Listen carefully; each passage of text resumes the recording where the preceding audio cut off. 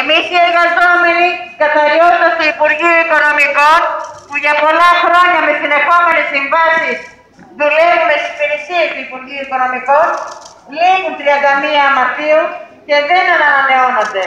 Μας πετούν στην ανεργία.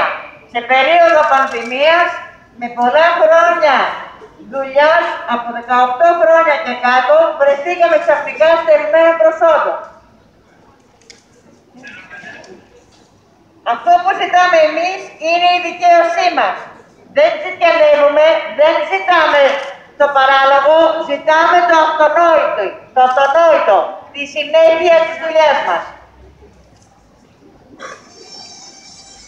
Η επιβίωσή μας είναι δικαίωμά μας. Η εργασία μας είναι και αυτό αναφέρεται το δικαίωμά μας. Να είμαστε εδώ να αγωνιστούμε για να πάρουμε απάντηση στην οριστική λύση για τις 150 εργαζόμενους και εργαζομένες σε όλη την Ελλάδα. Δεν θα δεχτούμε να αποχωρήσουμε από την εργασία μας. Δεν ζητάμε να πάρουμε το ψωμί κανενός. Ζητάμε την εργασία, τη συνέχεια της δουλειάς μας. Όχι λοιπόν στις απολύσεις των καθαριτριών του, του Υπουργείου Οικονομικών. Όχι στο άδικο, όχι στην ανεργία. Δεν μπορεί να συνεχιστεί αυτή η διαδικασία. Και δεν μπορεί να σταθεί κανένας ισχυρισμό ότι δεν περισσεύουν λεφτά για συμβάσεις τουλάχιστον ορίστη χρόνου. Για 150 ψυχές που ανάμεσά τους είναι κι άντρες. Σαν κι αυτούς παίρνουν το κουράγιο να είναι σήμερα εδώ και να στηρίξουν τις καθαρίστριες γιατί δεν είναι θέμα φίλου.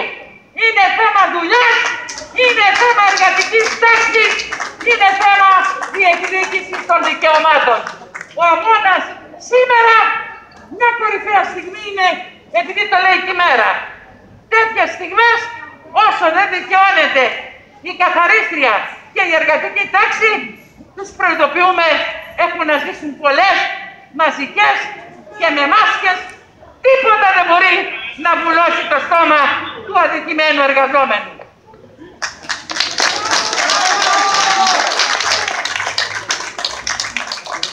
Συνάδελφοι συναδέλφισε, την ώρα που όλοι οι χώροι δουλειά σε όλη την Ελλάδα δουλεύουν με μειωμένο προσωπικό στην καθαριότητα.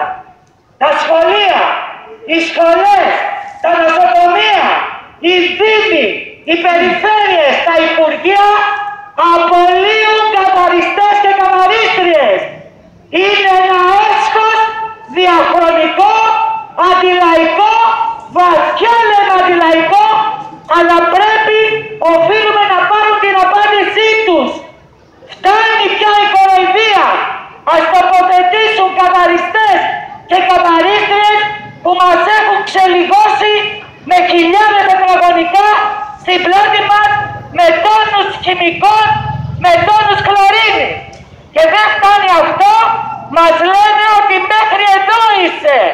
Πρέπει να απαντήσουμε, οφείλουμε να απαντήσουμε και σήμερα και τις προηγούμενες μέρες απαντάμε, αλλά ειδικά σήμερα, όταν πολλά χρόνια, αιώνες πίσω, δώσαν απάντηση οι γυναίκες του Μόξου.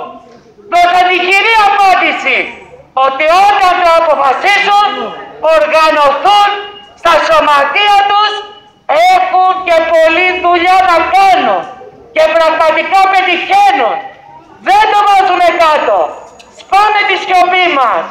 Σπάμε το φόβο που υπάρχει με τις χώρες δουλειάς. Ενανόμαστε με τα σωματεία μας, με τους εργάτες, τον υπόλοιπο λαό που δεινοπαθεί σήμερα και απαντάμε ότι φτάνει πια. Δεν θέλουμε άλλο. Μπορούν να δώσουν λύσεις, δεν θέλουν να τις δώσουν, εμείς θα τις επιβάλλουμε.